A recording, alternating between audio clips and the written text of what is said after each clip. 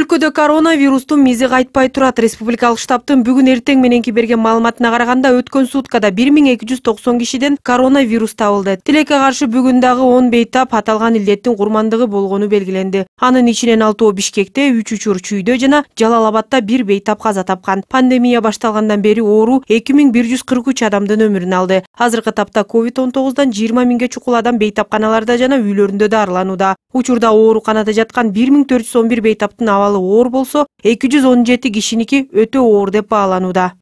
Бүгүнкү күнгө жыйырма алты миң жараныбыз эмдөөдөн өттү. Сиздерден сураныч бул спецификалык эмдөөгө өтө жоопкерчилик менен мамиле жасап эмдөө пункттарына келип бүгүнкү күндө сегиз жүз алтымыш жети эмдөө пункттары иштеп жатышат. Медицина кызматкерлери саат сегизден баштап жыйырма үчкө чейин кээ бир эмдөө пункттарында таң атканга чейин эмдөө жүргүзүлүп жатат. Андан сырткары коронавирустун алдын алуу ыкмаларынын бири бул такайып бет кап тагып колду самындап жууп залалсыздандыруучу заттар менен тазалап ошондой эле аралыкты сактап социалдык аралыкты сактап таза абада сейилдеп массалык маданий иш чараларга азыраак катышып ошондой эле күн сайын биз жаштарга кайрылып кетип жатабыз. Бүгүн да кайрыламын алтымыш беш жаштан жогорку болгон биздин жарандарыбыз өтө бул ооруга назик мамиле жасайт. Тез ооруп калышы мүмкүнчүлүгү бар. Ошондуктан ата энелерди ден соолугун камсыздаңыздар. Тажы вируска каршы вакцинациядан өтүүгө болбойт эгер ошол аллергия оору күчөп турган кезинде. Күчөп турган кезинде болбойт. Экинчи каршы көрсөтмө эгер адамдын мурун бир заттарга же дарыга же вакцинация вакцина эмдөөдөн өткөндө пайда болгон болсо абдан катуу чектен тышкары реакция пайда болгон болсо мисалы адамдын өмүрүнө коркунуч чоң коркунуч алып келген реакциялар болгон болсо аны биз анафилактикалык шок деп коебуз же квинкенин шишиги деп коебуз да. Орусча анафилактический шок же отек квинка бул учурда такыр болбойт. Үчүнчү каршы көрсөтмө бул эгер адам мурун эмдөөдөн өтүп жүргөндө бир вакцинаданын бир кайсы компоненттерине чектен тышкары реакция болгон болсо ал учурда да ошондой учурда ошондой реакциялуу пайда болгон пациенттер адамдар вируска каршы эмдөөдөн өтүүгө болбойт. Анан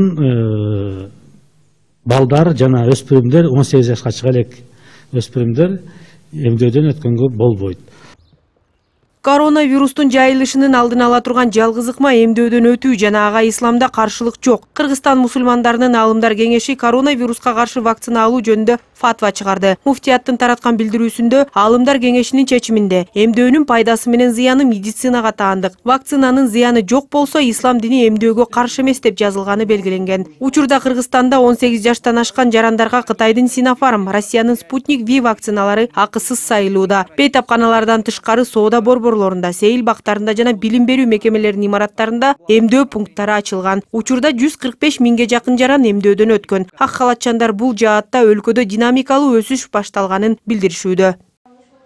Ошондой эле бүгүн кыргызстан мусулмандарынын азирети муфтийи замир кары ракиев бишкек шаарындагы эмдөө пункттарынын биринен коронавирус инфекциясына каршы вакцина алды. Аны менен кошо аалымдар кеңешинин мүчөлөрү кыргызстан ислам университетинин проректору жана мугалимдери бишкек шаардык казиятынын имамдары эмдөөдөн өтүштү. Ислам көз карашында ушундай оорулар пайда болуп жайылып адамзат айласын таппай калган учурларда ошол учурдагы медицина илиминин баягы акыркы акыркы чечимине таянып туруп иш кылат азыркы учурларда бул коронавирус ковидтен арылуунун бирден бир жолу бул вакцина сайдыруу деп дүнүйөлүк медицина ушул учурларда жарыялап аткан учур ошон үчүн бизде лабораториябыз жок болгондугуна байланыштуу биздин аалымдар кеңеши кече күнү отуруп бүткүл дүнүйөлүк ислам укуктары уюмунун фатвасына таянып бүткүл дүнүйөлүк ислам биримдигинин фатуасына таянып египет мамлекетинин фатуа комитетинин фатуасына таянып жана дүниедегі даңазалуу бүткүл мусулман калкы сыйлаган даңазалуу аалымдардын фатвасына таянып кечегине ушу вакцинанын уруксат берилишине фатва чыгарып беришти ушуга таянып баардыгыбыз ушундай ачуу таттуу күндөрдө бир мамлекетте жашап аткан учурларда ушундай кыйынчылыктан чогуу чыгалы деген ниет менен азыр ушу вакцина алганга мына диний кызматкерлер келип отурабыз. Ошондой эле кыргызстан мусулмандар дин башкармалыгы курманайтта майрамдык намаз мечиттерде гана окууларын билдирди. Мындай чечим өлкөдөгү эпидемиологиялык абалга жараша кабыл алынган. Коронавирус пандемиясынан улам борбордук аянттарда жалпы намаз окууга экинчи жыл катары менен чогулууга тыюу салынып келе жатат. Ушундай эле аракеттер бир топ кошуна жана алыскы өлкөлөрдө да кабыл алынууда. Айрым мамлекеттерде намаз чакан топ арасында окулуп ал онлайн түз эфирден көрсөтүлөт.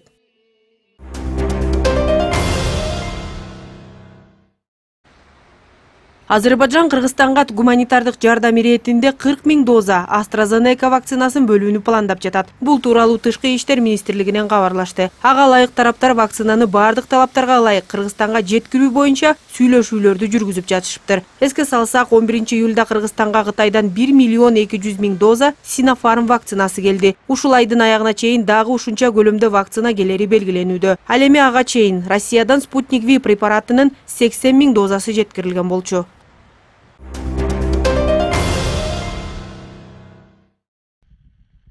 он үчүнчү он төртүнчү күндөрү афганистандагы талибан кыймылынын куралдуу топторунан качып үч жүз кырк жети кыргыз тектүү оогандык тажикстандын аймагына жер которгон алардын токсон бири эркек жетимиш жетиси аял болсо жүз жетимиш жетиси жашы жете элек балдар экени белгиленди. Бадахшан провинциясынын андамин кыштагынын жашоочулары тажикстандын мургап районунун кызыл работ аймагына келишкен. Кошуна өлкөнүн улуттук коопсуздук кызматынын билдирүүсүнө караганда чек араны кесип өтүүдө эки ымыркай чарчап калган. Учурда качкындар чөч тепе жана дуютук аймактарына жайгашкан жайгаштырылган маалыматтарга караганда жер которгондор өздөрү менен кошо миңдей майда жандык үч жүз топоз үч төө жана отуз жылкы айдап келишкен. Белгилей кетсек афганистандын улуу памир жана кичи памир аймактарында кыргыздардын саны эки миңдин тегерегинде. Мындан тышкары оогунстандын мазари шариф кабул бадахшан кундуз килмен шаарларында да кыргыздар бар.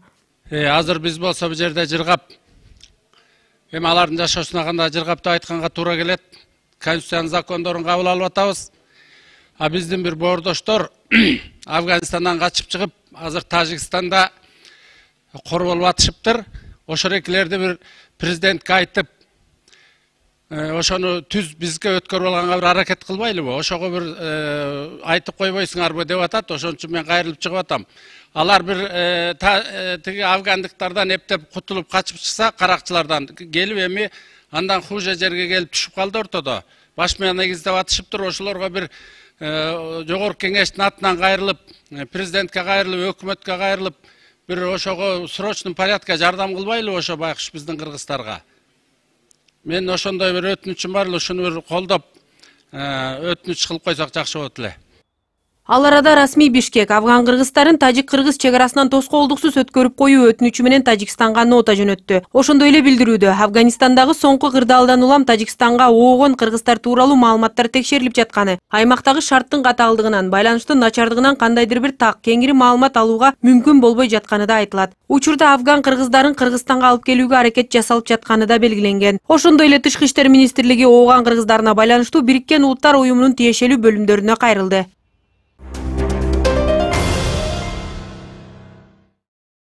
өлкөдө быйылкы жылдын экинчи кварталында жашоо минимуму алты миң үч жүз отуз эки сомду түзүп былтыркы жылдын ушул учуруна салыштырмалуу он беш бүтүн ондон алты пайызга жогорулады. Бул тууралуу улуттук статистика комитети кабарлады. Тактап айтканда көрсөткүч орто эсеп менен беш жүз сомго көбөйдү. Жашоо минимумунун эң төмөнкү көрсөткүчү талас областында катталып ал беш миң сегиз жүз жыйырма тогуз сомду түзөт. Ал эми эң жогоркусу жалал абадта болуп алты миң алты жүз алтымыш беш сомго барабар башкача айтканда талас областында күнүмдүк жашоого зарыл болгон айрым продукцияларды арзаныраак алууга мүмкүнчүлүгү жогору. Эске салсак эки миң жыйырманчы жылдын экинчи кварталында жашоо минимуму беш миң сегиз жүз кырк сомду түзгөн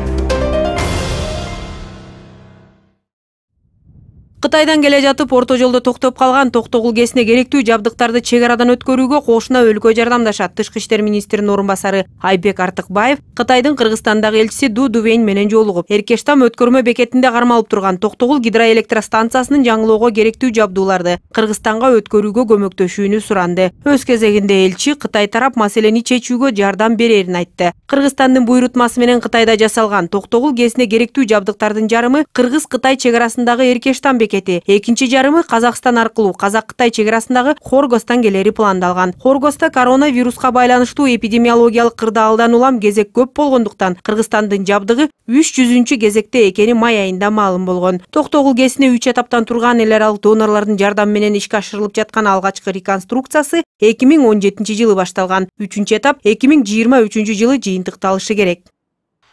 Кыргыз казак чек арасындагы ак тилек өткөрмө бекетинде эртең мененден бери жүк ташыган унаалардын узун кезеги пайда болду. Бул тууралуу чек ара кызматынан кабарлашты. Учурда унаалардын саны жүзгө чукулдаган. Анын ичинен отуз кырктайы контейнер жүктөгөн автоунаа болсо калгандары эл керектөөчү буюмдар менен тамак аш ташыган автоунаалар. Мекеме мындай узун кезек жүк ташуу көбөйгөн маалга байланыштуу жана кадыресе кайталанган көрүнүш экенин жана кыргыз казак чек арасындагы башка өткөрмө бекеттеринде адамдардын жана машиналардын узун кезеги жок экенин билдиришти. Ошондой эле жүк ташыган автоунаалар кең булуң өткөрмө бекети аркылуу өтсө дагы болору белгиленди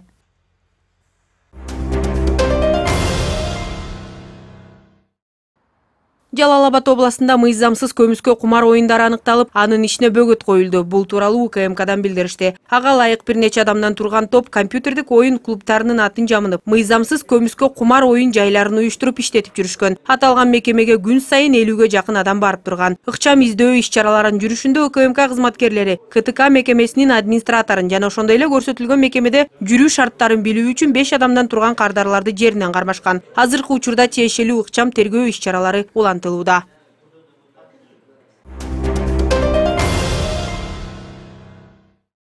Түркиянын Skyrave ото едек парча экипманлары үретим санаай компаниясы Бишкекке монорельс куруу маселесин карап, жерлерди карап чыкты. Бул тууралуу инвестициялар министрлигинин маалымат кызматы кабарлады. Ага ылайык президент Садыр Жапаровдун Түркияга болгон расмий иш сапарынын алкагында Кыргызстандын инвестициялар министрлиги менен түрк компаниясынын ортосунда кызматташуу боюнча меморандумга кол коюлган. Анда негизги предмет катары Ордо калаада монорельс куруу маселеси каралган. Ага ылайык ишкананын жетекчилиги Кыргызстанга келип инвестициялар министри Алмамбет Шыкмаматов менен жолукту. Министр бул долбоорду иш жүзүнө ашыруу үчүн Кыргызстандын мамлекеттик органдары аларга колунан келген жардамды бере турганын белгилеген. Ошондой эле министрликтин кызматкерлери мэрия менен биргеликте түрк компаниясынын өкүлдөрүнө монорельс курула турган аймактарды көрсөтүп тааныштырышкан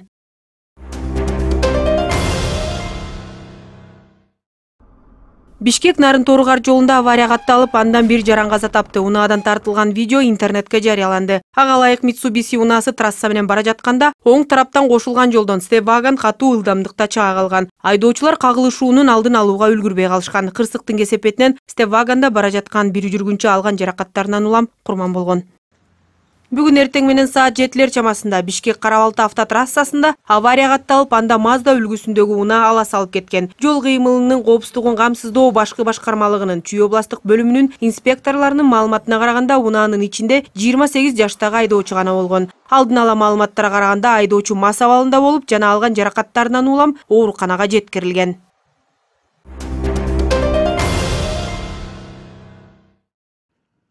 ысык көл эл аралык аэропорту бүгүн аэрофлот авиакомпаниясынын москва тамчы москва жаңы каттамын триумф аркасы же башкача айтканда суу аркасы менен салтанаттуу тосуп алды. Үч жыл мурда пландалып бирок быйыл гана ишке ашкан каттам жумасына үч ирет дүйшөмбү бейшемби жана ишемби күндөрү аткарылып турмакчы. Москвадан лихачев атындагы airbus а үч жүз жыйырма учагы менен жетимиш тогуз жүргүнчү учуп келген. Буга чейин манас эл аралык аэропорту авиабилеттердин баасын көзөмөлдөп же ага таасир тийгизе албай жана билеттерди сатууга да тиешеси жок экенин эскерткен билеттердин баасын аэрофлот авиакомпаниясы ички эрежелерине ылайык аныктайт.